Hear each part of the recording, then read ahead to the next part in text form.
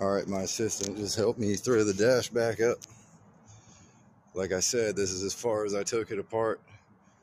We'll just make the connections, put all the hardware back, and dial it in.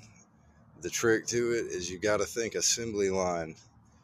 They didn't. They put all this together in a room away from the car, and then put this thing in as a unit.